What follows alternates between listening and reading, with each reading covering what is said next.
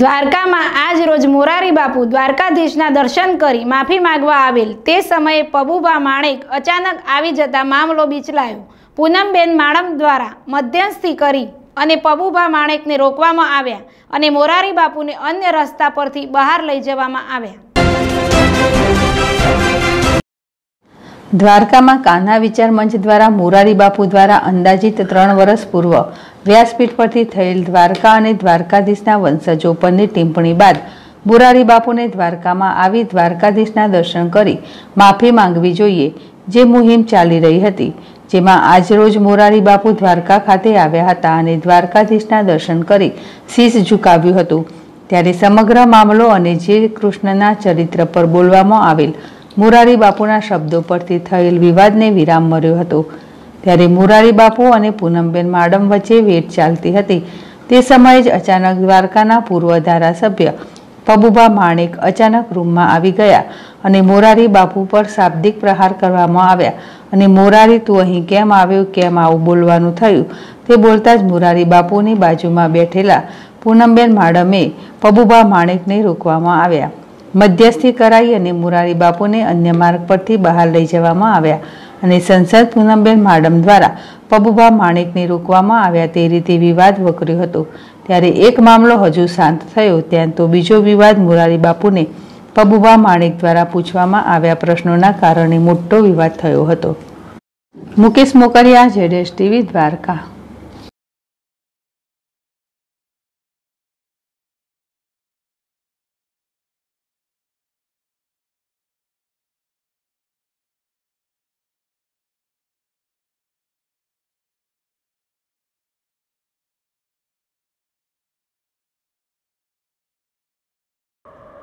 હું જે બોલ્યો છું એનાથી ઘણા લોકોને ઘણા ભાઈઓને બહેનોને યુવાનોને જેને જેને પીડા થઈ છે એની મેં જાહેરમાં વ્યાસપીઠ ઉપરથી માફી માંગી લીધી છે. અને હું દ્વારકા તો અવારનવાર આવતો જ હોઉં છું છો. અને મારે આવવું પણ હતું પણ આપણા સમાજની એકતા ન તૂટે અને સંવાદ સચવાઈ રહે. મારે કારણે ક્યાંય સમાજ વિભક્ત ન થાય અને આપણા સનાતન ધર્મને ક્યાંય પહેલું ન થાય. એટલા માટે ઠાકોરજીના દર્શને આવ્યો છું અને દર્શનનો લાભ મળ્યો, આશીર્વાદ મળ્યો. આપ સૌના સદભાવ માટે ખૂબ ખૂબ ઘણા સમયથી આપણે સૌ જાણીએ છીએ કે કૃષ્ણ વંશના બધા જ આપણા નાગરિકો અને બધા જ કૃષ્ણ ભક્તોમાં એક કચવાટ હતો, એક દુઃખની લાગણી હતી. કે મોરારી બાપુ જે વ્યાસપીઠ પરથી જે રીતે એમણે સમગ્ર બલરામજી ભગવાન શ્રી કૃષ્ણ વિશેની વાત કરી હતી, સમસ્ત દ્વારકા વિશેની વાત કરી હતી અને યાદવો વિશે જે વાત કરી હતી એને લઈને ઘણા સમયથી એ કૃષ્ણવંશી સમાજનો દરેક કૃષ્ણ ભક્તોનો અને આ ક્ષેત્રમાં લગભગ વસતા દરેક સમાજો અને સંસ્થાની એક લાગણી હતી કે આ વાત માટે જોકે બાપુએ વ્યાસપીઠ પરથી માફી માંગી હતી, પણ વાત ભગવાન શ્રી કૃષ્ણની હતી દ્વારકાની હતી, દ્વારકાધીશની હતી. એટલે તેઓ દ્વારકા જ આવે અને અહીંયા દ્વારકાધીશને ચરણે પોતે નમન કરી અને ક્ષમા યાચના માંગે. એવી એક લાગણી હતી. ઉંમરને લીધે આ કોરોના પરિસ્થિતિમાં કેટલી અનુમતિ મળે એ વાત મને ખ્યાલ નથી.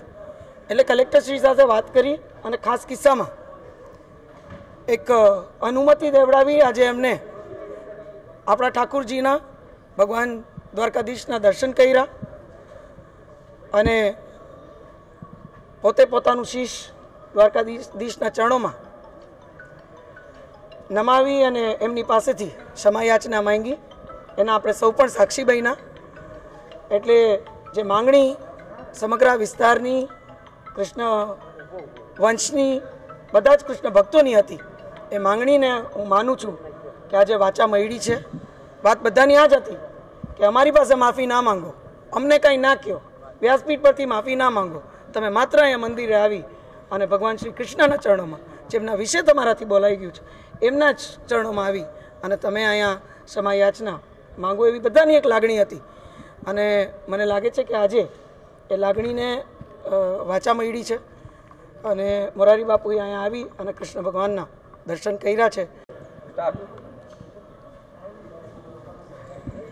ભગવાન શ્રી દ્વા- દ્વારકાધીશ વિશે, શ્રી કૃષ્ણ વિશે જે અશોભનીય ટિપ્પણીઓ થઈ એ અશોભનીય ટિપ્પણીઓના વિરોધમાં, માત્ર ગુજરાત જ નહીં, પણ ભારતભરના કૃષ્ણપ્રેમીઓ લોકો, જે કોઈ ભક્તો હતા કૃષ્ણ પ્રેમી અને કૃષ્ણ વંશીઓને ક્યાંક ને ક્યાંક અંતરાત્માને ઠેસ પહોંચી, ક્યાંક ને ક્યાંક દુઃખ થયું. અને એના આધારે કાન્હા વિચાર મંચે એક પત્ર લખી, શોભનીય ભાષામાં પત્ર લખી અને ભગવાન શ્રી કૃષ્ણની કારણ કે માફી કોઈ વ્યક્તિની નહીં. જ્યારે ભગવાન કક્ષાએ વાત થઈ હોય, ત્યારે ભગવાન શ્રી કૃષ્ણની ખુદની આવી અને માફી માંગી જાય, દ્વારકાધીશના શરણે આવીને શીશ નમાવી જાય, જે આ માંગ હતી, આ માંગ માટે કાના વિચાર મંચની સાથે સાથે દરેક કૃષ્ણ પ્રેમી સમાજ, દરેક કૃષ્ણ પ્રેમી યુવાન કે જેણે આ માંગ માટે લડાઈ કરી છે, લડ્યા છે એમને હું આપ સૌના માધ્યમથી અભિનંદન આપું છું અને આજે ભવિષ્યમાં કોઈ પણ ભગવાન વિશે ક્યાંયથી પણ ટીકા ટિપ્પણી ન થાય, એવી એક આ ઉદાહરણીય રૂપ આમાંથી પણ લોકો શીખે, કથાકારો શીખે, કલાકારો શીખે કે ભગવાન ભગવાન જ છે એના વિશે અશોભનીય ટિપ્પણીઓ ન કરવી જોઈએ. આજે હર્ષ સાથે કે જે લડાઈ કરી હતી એનો દ્વારકાધીશના શરણે અમે એના ચરણોમાં અર્પણ કરીએ છીએ.